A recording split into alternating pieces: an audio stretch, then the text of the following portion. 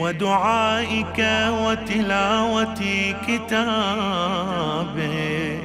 السلام علیکم ورحمۃ اللہ وبرکاتہ الحمد للہ رب العالمین وصلی اللہ وسلم علی نبینا محمد وعلی آلہ وصحبہ اجمعین ومن تبعہ بإحسان الى یوم الدین اما بعد، محترم بھائیوں اور بہنوں، پروگرام آج کی تراویح کے ساتھ حاضر خدمت ہیں۔ آج چوتھے پارے کی تلاوت کا خلاصہ آپ کے سامنے پیش کیا جا رہا ہے۔ کیونکہ اس پروگرام کا مقصد یہ ہے کہ قرآن کریم جو ہم روزانہ قیام اللیل صلاة التراویح یا تہجد میں سنتے ہیں، غور بھی کریں کہ اس میں کیا حکم دیا جا رہا ہے۔ اس میں کیا ارشادات باری تعالیٰ ہیں، کیونکہ قرآن کریم کتاب ہدایت ہے۔ ہدایت نامے کو سمجھے بغیر ہم قرآن کریم سے وہ فائدہ نہیں اٹھا سکتے۔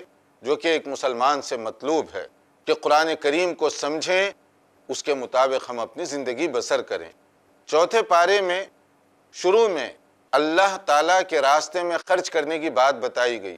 جو تیسرے پارے کا بھی ایک حصہ ہے، انفاق فی سبیل اللہ۔ ہم نے گزشتہ بھی بتایا کہ انفاق دراصل نفاق کا علاج ہے۔ کہ اگر اللہ تعالیٰ کے راستے میں آدمی خرچ کرے گا، تو دل میں مال کی جو محبت بس جاتی ہے وہ آہستہ آہستہ کم ہو جائے گی۔ اور اللہ تعالیٰ کے پاس درجات کی بلندی وہی آدمی پا سکتا ہے جو اللہ کی دی ہوئی دولت اللہ کے راستے میں خوش دلی کے ساتھ خرچ کرے۔ لن تنالوا البر حتى تنفقوا مما تحبون۔ کہ تم درجات کی بلندی اسی وقت پا سکتے ہو جبکہ تم اللہ کے راستے میں خرچ کرو۔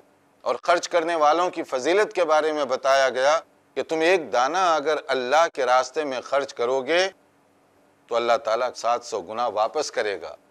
اور اگر نیت اور اخلاص بہتر ہو، تو اللہ کے خزانوں میں تو کوئی کمی نہیں ہے۔ وہ اس سے بھی زیادہ دے گا بغیر کسی حساب کے۔ خرچ کرنے کے مختلف انداز اس کے مختلف طریقے ہیں۔ تو ان میں ایک تو یہ ہے کہ خرچ کرنے کا فائدہ، گویا یہ انویسٹمنٹ ہے، ایسی سرمایہ کاری ہے جس میں کوئی گھاٹا نہیں، جس میں کوئی نقصان نہیں کہ اللہ کے راستے میں جتنا خرچ کریں گے، اس سے زیادہ اللہ تعالیٰ لوٹا دے گا۔ اور یہ بھی سمجھنا چاہیے کہ دی ہوئی دولت اللہ ہی کی ہے۔ اور اللہ ہی کے راستے میں اگر اللہ کے حکم پر ہم خرچ کر رہے ہیں، تو اللہ تعالیٰ کو یہ عذاب ہماری بہت پسند آئے گی۔ ورنہ وہ ویسے بھی دولت واپس لے سکتا ہے جب چاہے۔ اور حدیث میں آتا ہے کہ دو قسم کے لوگ ایسے ہیں جو قابل رشک ہیں۔ ان میں سے ایک ایسا آدمی جسے اللہ نے دولت دی اور وہ اللہ تعالیٰ کے بتائے ہوئے راستے کے مطابق صحیح اور مناسب جگہوں پر دولت خرچ کرتا ہے۔ لیکن دولت خرچ کرنے کا مطلب یہ نہیں کہ دوسرے لوگ بھیک مانگنے والے بنے۔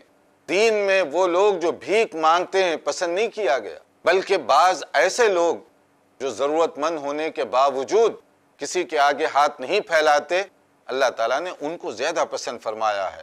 اور جو لوگ بطور پیشہ کے بھیک مانگنے لگ جائیں، تو یہ شریعت میں ناپسندیدہ قسم کی چیز ہے۔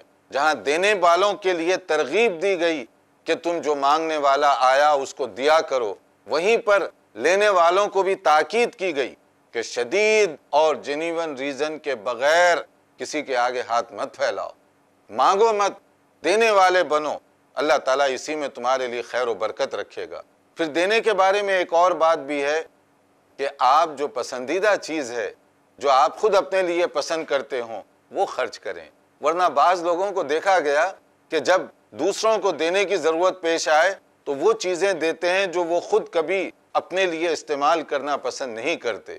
نہیں، چوتھے پارے کی پہلی آیت کہہ رہی ہے کہ درجات کی بلندی کے لیے پسندیدہ، محبوب اور مرغوب چیز کا خرچ کرنا یہ زیادہ ضروری ہے۔ اسی لیے صحابہ کرام رضوان اللہ علیہ مجمعین ان کا انداز دیکھیے۔ اس آیت کے نازل ہونے کے بعد وہ بیٹھ کر غور کرتے کون سا باغ، کھیت، ہماری کون سی چیز زیادہ ہمارے لیے محبوب ہے، زیادہ پسندیدہ ہے، تاکہ ہم درجات کی بلندی پانے کے لیے یہ اللہ کے راستے میں خرچ کریں۔ ایک اور نقطہ خرچ کرنے کے بارے میں بتایا گیا کہ احسان جتانے کے لیے مت خرچ کیجیے کہ جیسے لوگ کہتے ہیں نا، تم کیا تھے؟ غریب تھے، فقیر تھے، کنگال تھے، میں نے تمہاری فیس دی، میں نے کپڑوں کا انتظام کیا، میں نے یہ چیز اللہ تعالیٰ کو سخت ناپسند ہے کہ آپ خرچ کر کے برباد کر رہے ہیں اپنی دولت کے احسان جتا کر۔ خرچ کیجیے، بھول جائیے۔ اللہ کے حساب میں ہے اور اللہ تعالیٰ دینے والا ہے۔ یہاں پر ایک دو اور باتیں بھی خرچ کے بارے میں۔ ایک تو یہ ہے کہ خرچ اللہ کی رضا کے لیے ہونا چاہیے۔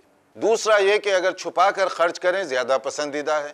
مگر کبھی حالات ایسے ہوں کہ آپ لوگوں کے سامنے اعلان کر کے دیتے ہیں تو بھی جائز ہے بشرتے کہ آپ اللہ کے لیے وہ کام کر رہے ہوں۔ مثال کی طور پر، کہیں چندے کا اعلان ہوا اور آپ سمجھتے ہیں کہ اگر میں اعلان کروں گا، دوسروں کے اندر بھی حوصلہ افزائی ہوگی، شوق پیدا ہوگا، اس جذبے سے آپ نام بتا کر یا اعلان کر کے دیتے ہیں، تو یہ جائز ہے کیونکہ آپ دوسروں کو اس کی طرف لا رہے ہیں۔ اور اگر آپ سمجھتے ہیں کہ کہیں ریاکاری ہے، کہیں اس کا خطرہ ہے، تو پھر آپ ایسے دیں کہ ایک ہاتھ سے اگر دیں تو دوسرے ہاتھ کو اس کے بارے میں پتہ تک نہ چلے یعنی مطلب یہ کہ بالکل خفیہ انداز سے دیں۔ اللہ تعالیٰ کو یہ ادا بہت زیادہ پسند ہے جو آپ خفیہ طور پر خرچ کرتے ہیں۔ پھر حج کے بارے میں ایک بڑی اہم بات بتائی گئی۔ ایک حج اور ایک کعبۃ اللہ کے بارے میں۔ آیت نائنٹی سکس کے اندر ایک بڑی اہم جو بات بتائی گئی وہ کعبۃ اللہ کے حوالے سے ہے۔ کہا گیا، ان اول بیت وضع للناس للذی ببکت مبارکم وہدى للعالمین. کہ سب سے پہلا گھر جو روئے زمین پر آباد کیا گیا، اللہ کی عبادت کے لیے، وہ کعبۃ اللہ ہے۔ اس آیت سے یہ معلوم ہوا کہ کعبۃ اللہ سے پہلے دنیا میں کوئی عبادت کے لیے گھر نہیں بنایا گیا۔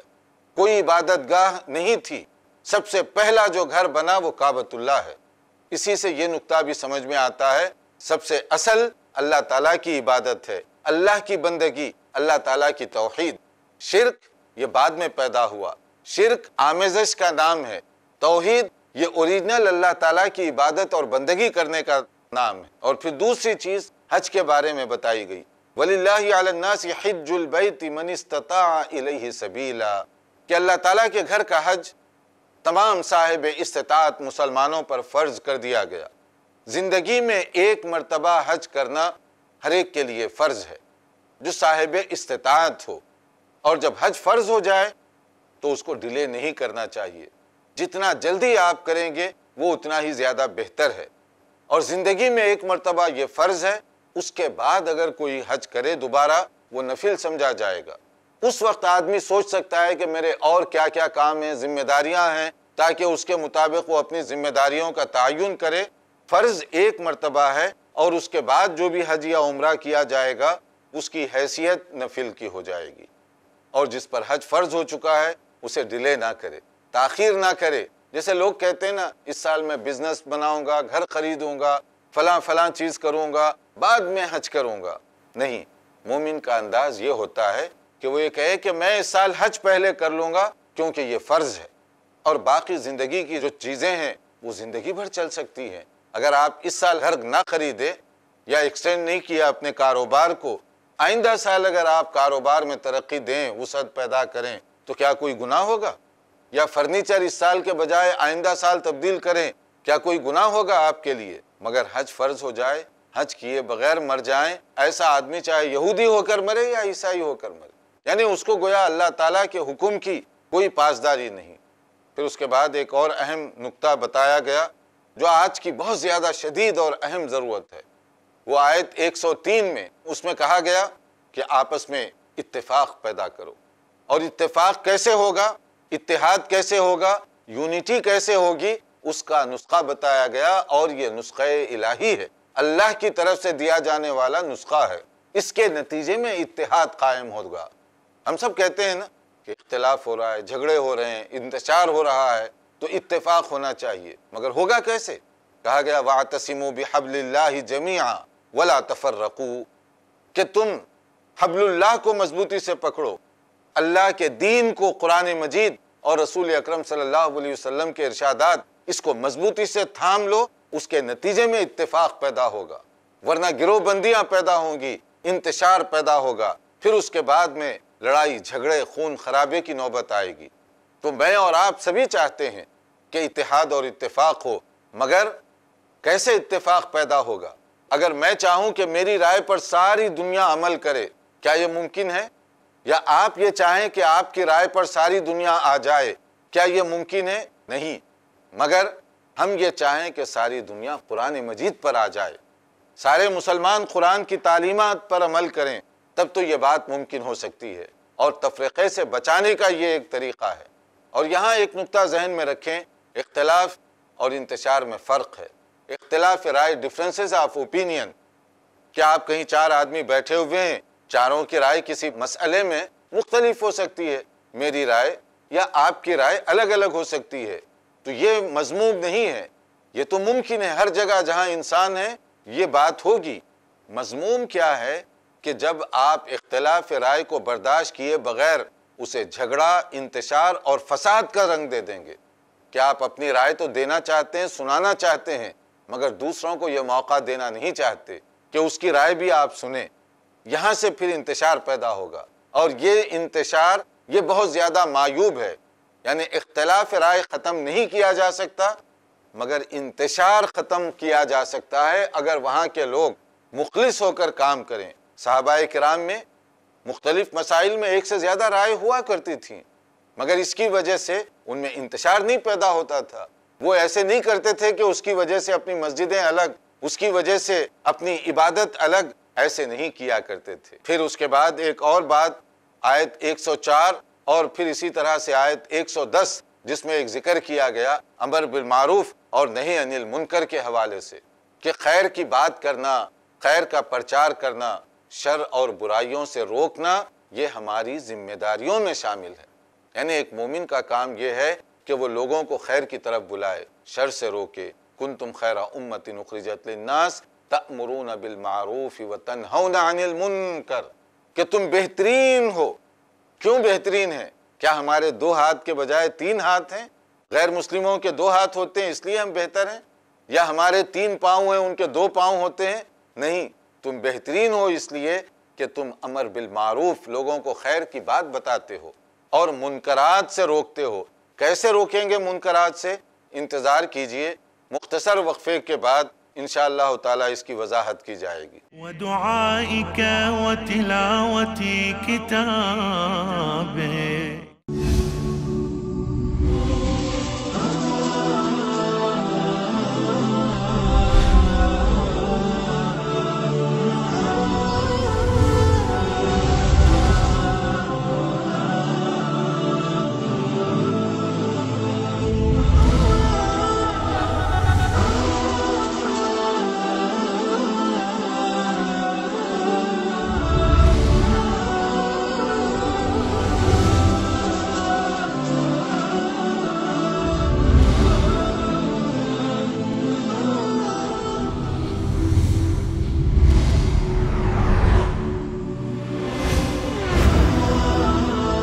ان تمام موضوعات کی کرنے وضاحت آ رہے ہیں۔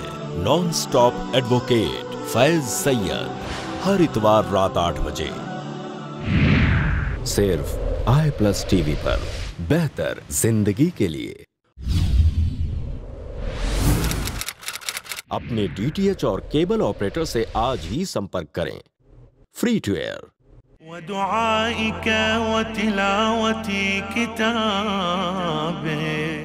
ناظرین، وقفے سے پہلے ہم بتا رہے تھے کہ معروف کو عام کرنا اور منکرات سے روکنا یہ ہماری ذمہ داری ہے۔ ہر آدمی کی اپنی اپنی طاقت اور صلاحیت کے مطابق وہ اس میں حصہ لے سکتا ہے۔ کوئی یہ نہ سمجھے کہ یہ مولوی کا کام ہے یا خطیب کا یا امام کا کام ہے۔ نہیں، دین ہم سب کی ذمہ داری ہے اور ہم سب کا یہ کام ہے۔ ایک ڈاکٹر اپنی کلینک میں یا سرجری میں دین کا کام کر سکتا ہے۔ ایک انجینئر اپنے فیلڈ میں دین کا کام کر سکتا ہے۔ ایک ٹیچر اسکول میں، کالج میں، یونیورسٹی میں دین کا کام کر سکتا ہے، اگر اس کے اندر یہ شوق اور جذبہ پیدا ہو جائے۔ اسی طرح مختلف شعبوں میں کام کرنے والے دین کی بات عام کرنے میں حصہ لے سکتے ہیں۔ اس کے مختلف انداز، اس کے مختلف طریقے ہیں۔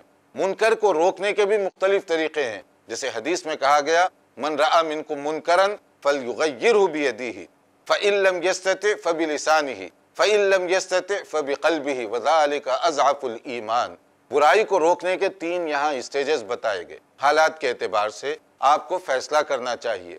مثلا یہ ہے کہ آپ اگر ہاتھ سے روک سکتے ہیں، روک دیجیے۔ نہیں، زبان سے نصیحت کیجیے۔ برائی کے خلاف لوگوں کو بتائیے۔ یا نہیں تو کم سے کم اپنے دل میں اس کو برا سمجھیے کمپرومائز مت کیجیے۔ برائی کے ساتھ۔ جیسے آپ گھر میں بیٹھے ہوئے ہیں، کوئی غلط بات ہو جاتی ہے، آپ کا یہ گھر ہے، اس کو فوری طور پر روکیے آپ۔ اور اگر آپ باہر جاتے ہیں، دکان وغیرہ پر، وہاں وہی غلط حرکت ہو رہی ہے، تو آپ وہاں اپنی طاقت کا استعمال نہیں کریں گے، بلکہ پہلے وہاں زبان کا استعمال کریں گے۔ گھر میں ہاتھ سے روکا اور باہر زبان پہلے استعمال آپ نے کی۔ کیوں؟ اس لیے کہ حالات کا تقاضا ہے۔ دوسروں کی دکان پر جا کر آپ دست درازی کریں گے تو اس سے لڑائی، جھگڑا، فتنہ اور فساد بھی پیدا ہو سکتا ہے۔ تو حالات کی رعایت کرتے ہوئے منکر کے خلاف ایکشن لینا یہ ضروری ہے۔ ورنہ غلط انداز سے آپ ایکشن لیں گے تو وہ خود بڑے فتنے کا سبب بن جائے گا۔ اور اگر آپ یہ دونوں کام نہیں کر سکتے تو کم سے کم اپنے دل میں اس کو برا سمجھیں۔ پھر غزوہ احد کا ذکر کیا گیا طویل آیات میں۔ غزوہ احد یعنی اسلام کی دوسری جنگ۔ جو مسلمان اور مشرقین کے درمیان پیش آئی۔ سن تین ہجری کے اندر یہ واقعہ پیش آیا۔ وہ لوگ غزوہ بدر میں جو ہار گئے تھے، اس کا انتقام لینے کے لیے بڑی تیاری کے ساتھ مدینہ منورہ پہنچے۔ تو اس میں جو جو واقعات پیش آئے، بہت تفصیل کے ساتھ اس کو بیان کیا گیا۔ صحابہ کرام نبی صلی اللہ علیہ وسلم کی معیت میں نکلے تقریباً ہزار صحابہ۔ مگر عجیب بات ہے کہ احد پہاڑ کے قریب پہنچتے پہنچتے بعض جو منافقین ہیں جو صحابہ کے ساتھ شامل ہو گئے، طرح طرح کے اعتراضات اور بہانے بنا کر پیچھے ہوتے گئے۔ کیونکہ جن کے دلوں میں ایمان تھا، وہ تو سمجھ رہے تھے کہ اگر ہم شہید ہو گئے، پھر بھی ہمیں اجر و ثواب۔ غازی بن کر واپس آئے، پھر بھی اجر و ثواب۔ اور جو منافق تھے، جن کے دلوں میں ایمان نہیں تھا، وہ یہ سمجھتے تھے کہ اگر کامیاب ہو گئے، پھر تو فائدہ ہوگا۔ ناکام ہو گئے تو مارے گئے۔ اللہ کے ساتھ اجر و ثواب لینے کا تو دل میں یقین نہیں تھا۔ اس لیے وہ آہستہ آہستہ واپس ہوتے گئے۔ حتیٰ کہ تقریباً تین سو کے قریب لوگ واپس ہو گئے۔ یہ مسلمانوں کے لیے بڑا نقصان کا پہلو تھا کہ این مارکے سے پہلے اتنی بڑی تعداد میں لوگ واپس چلے جائیں۔ اسی لیے کہا جاتا ہے کہ اسلامی سلطنت کو اور مسلمانوں کو منافقین سے جتنا نقصان پہنچا ہے، شاید دوسروں سے وہ نقصان نہیں پہنچا۔ اس کی ایک مثال یہ بھی ہے۔ اسی طرح سے آپ دیکھیں گے کہ وہاں رسول اکرم صلی اللہ علیہ وسلم جب اپنے صحابہ کرام کے ساتھ تشریف لے گئے، میدان کا سارا جائزہ لینے کے بعد آپ نے بڑی گہری پلاننگ کی اور ایک چھوٹا سا پہاڑی راستہ تھا، وہاں آپ نے پچاس تیر اندازوں کو کھڑا کیا۔ یہ ہدایت دے کر کہ جب تک میرا پیغام نہ ملے، اس وقت تک تم یہیں پر ٹھہرے رہنا۔ یہ ہدایت تھی نبی صلی اللہ علیہ وسلم کی۔ اور یہ ہدایت تھی جو میدان جنگ کے کمانڈر ان چیف تھے رسول اللہ صلی اللہ علیہ وسلم۔ لیکن لڑائی شروع ہوئی اور پہلا جو مرحلہ ہوا، اس میں مسلمان بڑے کامیاب و کامران ہوئے اور پھر اس کے بعد یہ ہوا کہ جب صحابہ کرام بیٹھ گئے تو پہاڑ پر جو دستہ ٹھہرا ہوا تھا، انہوں نے سوچا کہ اب تو لڑائی ختم ہو گئی۔ لہٰذا یہ ہدایت تھی لڑائی کے دوران۔ لڑائی ختم ہو گئی، اب ہم بھی اتر سکتے ہیں۔ دوسروں نے کہا کہ نہیں، نبی صلی اللہ علیہ وسلم نے تاکید فرمائی ہے کہ یہاں سے ہلنا نہیں ہے۔ بہت سارے لوگ اتر گئے، تھوڑے سے لوگ باقی تھے۔ جاتے ہوئے مشرقین نے دیکھا کہ یہاں پر واپس حملہ کرنے کا چانس موجود ہے۔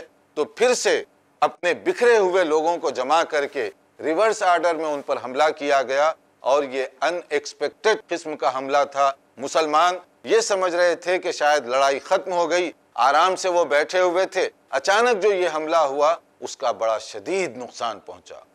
ستر کے قریب صحابہ کرام شہید کر دیے گئے۔ ستر صحابہ کرام زخمی کر دیے گئے اور خود رسول اللہ صلی اللہ علیہ وسلم کو بھی شدید زخم آئے۔ اس جنگ کے اندر بعض صحابہ کا ایمان، بڑی جرت کا ایمان تھا۔ آپ دیکھیے حضرت حمزہ رضی اللہ تعالیٰ عنہ کس بے دردی کے ساتھ شہید کر دیے گئے۔ حضرت مصب بن عمیر رضی اللہ عنہ جو مدینہ منورہ پہلے مبلغ اور دائی کے طور پر رسول اکرم صلی اللہ علیہ وسلم نے انہیں بھیجا اور نبی کے مدینہ پہنچنے سے پہلے نبی صلی اللہ علیہ وسلم کے یہ نمائندے حضرت مصب نے مدینہ کے گھر گھر میں دین کی دعوت پہنچا دی تھی۔ وہ بھی بڑی بے دردی کے ساتھ شہید کر دیے گئے۔ اور اسی طرح سے مختلف صحابہ کرام اللہ تعالیٰ ان سب سے راضی ہو، ان سب پر رحمت اور اپنا کرم فرمائے۔ اور پھر اس کے بعد یہ جو لڑائی ہوئی، بغیر کسی نتیجے کے ختم ہو گئی۔ یعنی پہلا راؤنڈ مسلمان جیتے، دوسرا راؤنڈ مشرقین اور پھر اس کے بعد وہ بھاگنا خود ہی شروع کر دیے۔ پھر مسلمان ان کے تعاقب میں گئے، آٹھ میل تک مسلمانوں کا قافلہ ان کے پیچھے چلتا رہا۔ تو اس طرح سے یہ لڑائی ایسے سمجھ لیجیے کہ جو نتیجہ عام طور پر شکست کی شکل میں آنا چاہیے، نہ وہ آیا، نہ کامیابی کی شکل میں جو آنا چاہیے، وہ آیا۔ لیکن ایک مسلمانوں کو افراد کے اعتبار سے بہت زیادہ نقصان اس میں اٹھانا پڑا۔ مگر اس کا ایک بڑا سبب جو بتایا گیا، محض غلط فہمی سے ایک نافرمانی ہو گئی۔ جن کو جہاں ٹھہرا کیا گیا تھا، انہوں نے یہ سمجھا کہ اب لڑائی ختم ہو گئی۔ اس چھوٹی سی غلط فہمی سے اتنا بڑا نقصان اگر ہوا، ہمیں سوچنا چاہیے کہ ہم کتنی چیزوں میں نبی صلی اللہ علیہ وسلم کے حکم کی خلاف ورزی کرتے ہیں، تو کیا ہمیں کوئی فائدہ پہنچے گا؟ نبی صلی اللہ علیہ وسلم کے یہیں پر اخلاق کی بہت زیادہ تعریف کی گئی۔ اور مسلمانوں کے بارے میں بتایا گیا، ولا تہینو ولا تحزنو وانتم العلون ان کنتم مؤمنین تمہیں حالات کو دیکھ کر رنجیدہ، مایوس اور پریشان نہیں ہونا چاہیے۔ اللہ تعالیٰ قادر مطلق ہے۔ حالات کو بدلنے پر وہ قادر ہے۔ تم پر امید رہو۔ کوشش کرتے جاؤ۔ دعائیں کرتے جاؤ۔ کوشش اور دعاؤں کے نتیجے میں اللہ تعالیٰ کی برکت کبھی بھی نازل ہو سکتی ہے۔ مگر ایمان یہ بنیادی شرط ہے۔ بغیر ایمان کے ہم چاہتے ہیں کہ ویسے ہی اللہ تعالیٰ کی مدد آ جائے، ایسے نہیں آئے گی۔ پھر اسی طرح رسول اکرم صلی اللہ علیہ وسلم کے متعلق ایک اور اہم بات بتائی گئی کہ نبی کریم صلی اللہ علیہ وسلم کی جو مختلف ذمہ داریاں ہیں، کیا کیا اہم ذمہ داریاں ہیں؟ آیت ایک سو چونسٹھ میں اس کا ذکر کیا گیا۔ لقد من اللہ علی المؤمنین اذ بعث فیہم رسولا من انفسہم۔ کہ اللہ تعالیٰ کا احسان ہے کہ اس نے تمہارے لیے رسول بھیجا۔ کیا ذمہ داریاں ہیں؟ یتلو علیہم آیاتہ ویزکیہم ویعلمہم الکتاب والحکمہ وَإِن كَانُوا مِن قَبْلُ لَفِي ضَلَالٍ مُبِينٍ وہ قرآن کریم کی تلاوت یہ کر کے لوگوں کو سناتے ہیں۔ پہلی ذمہ داری، جیسے ہم بھی اس مبارک مہینے میں قرآن کریم کی تلاوت کر رہے ہیں، ویسے بھی عام طور پر کرتے ہیں۔ قرآن پڑھنے، پڑھانے، سننے، سنانے کا شوق ہوتا ہے۔ یہ نبی صلی اللہ علیہ وسلم کا پہلا کام تھا۔ دوسرا، تزکیہ، پیوریفیکیشن۔ دل اور دماغ میں جو برائیاں آ جاتی ہیں، حسد، بغض، عداوت، کینہ، ان سب سے لوگوں کا تزکیہ آپ فرمایا کرتے تھے۔ اس مبارک مہینے میں ہمیں بھی چاہیے کہ اپنے دل اور دماغ کو بغض، عداوت، کینہ، اس طرح کی چیزوں سے پاک و صاف کریں، ورنہ ہماری عبادت بے معنی ہو کر رہ جائے گی۔ پھر اس کے بعد تیسری جو چیز تھی، وَيُعَلِّمُهُمُ الْكِتَابَ وَالْحِكْمَةِ۔ قرآن اور حکمت کی تعلیم بھی دیا کرتے تھے۔ یعنی تلاوت الگ ہے، تعلیم الگ ہے۔ تعلیم کے لیے انڈرسٹینڈنگ سمجھنا، غور و فکر کرنا یہ بہت زیادہ ضروری ہے۔ جو لوگ صرف تلاوت کر کے بس کر دیتے ہیں، وہ بھی غلط۔ دوسرا اسٹیپ بھی اٹھائیے۔ دوسرا قدم بھی اٹھائیے۔ قرآن مجید کو سمجھیے۔ اور جو لوگ تلاوت وغیرہ تو نہیں، صرف جو ہے قرآن کریم کی تعلیمات پر ہی بات کرتے ہیں، ان کو بھی چاہیے کہ پہلا قدم بھی اٹھائیں۔ تلاوت بھی کیجیے اس کی تعلیمات کو سمجھیے بھی اور اس پر غور و فکر کے بعد عمل بھی کیجیے کیونکہ رسول اکرم صلی اللہ علیہ وسلم یہ سارے ہی کام کیا کرتے تھے۔ پھر اس کے بعد ایک اور جو چیز بتائی گئی، وہ ہے ذکر و اسکار کے بارے میں سورہ آل عمران کا آخری حصہ۔ کہ اللہ تعالیٰ کو اپنے وہ بندے بہت زیادہ پسند ہیں جو زیادہ سے زیادہ ذکر و اسکار کرتے ہیں۔ چلتے ہوئے بیٹھ کر، لیٹ کر، ہر طرح سے۔ کیونکہ جو اللہ کو یاد کرے گا، اللہ کا وعدہ ہے۔ کہ اللہ بھی ان کو یاد رکھے گا۔ اللہ بھولتا نہیں ہے، مگر یاد رکھنے کا مطلب ہے اللہ تعالیٰ اپنے رحم و کرم کے لیے یاد رکھے گا۔ اللہ ہمیں ان خوش نصیب لوگوں میں شامل فرمائے۔ اور حدیث میں آتا ہے، صحیح مسلم کی حدیث ہے، اور بھی حدیث کی مختلف کتابوں میں اس کا نقل کیا گیا کہ سات قسم کے لوگ جن کے ساتھ قیامت کے دن خصوصی معاملہ کیا جائے گا۔ سبعت یظلہم اللہ فی ظلہ یوم لا ظل الا ظلہ قیامت کے دن وی آئی پی پروٹوکول ان کو دیا جائے گا، سات قسم کے لوگوں کو۔ ان میں سے ایک، وَرَجُلٌ ذَكَرَ اللَّهَ خَالِيًا فَفَازَتْ عَيْنَا ایسا آدمی جو تنہائی میں اللہ کا ذکر کیا اور ندامت کے آنسو نکل پڑے۔ تو یہ آنسو اللہ تعالیٰ کو بہت پسند ہیں۔ جو تنہائی میں بیٹھ کر اللہ کو یاد کر کے اس کی آنکھوں سے آنسو نکلے تو اس کے لیے یہ درجات کی بلندی ہے۔ قیامت کے دن ان کا شمار وی آئی پی قسم کے لوگوں میں کیا جائے گا؟ تو ذکر زبان سے بھی آپ کر سکتے ہیں۔ ذکر عمل کے ذریعے سے اور ذکر دل اور دماغ کے ذریعے سے۔ جب میں اللہ کی تسبیح بیان کروں، میرا دل بھی اس کی گواہی دے۔ میرا عمل بھی اس کی گواہی دے۔ ورنہ میں ذکر تو کر رہا ہوں، مگر اللہ تعالیٰ کی عمل سے نافرمانی کر رہا ہوں۔ تو یہ ذکر کس قسم کا ہوا؟ صرف تسبیح پکڑ لینا اور بڑے بڑے تسبیح کے من کے رولتے رہنا۔ اس کا نام ذکر نہیں ہے۔ ذکر کے لیے دل، دماغ اور ہمارا عمل، یہ ساری چیزوں کا اشتراک ضروری ہے۔ تاکہ ہم زبان سے جو کہیں، دل بھی اس کو تسلیم کرے اور ہمارا عمل بھی اسی کے مطابق ہو۔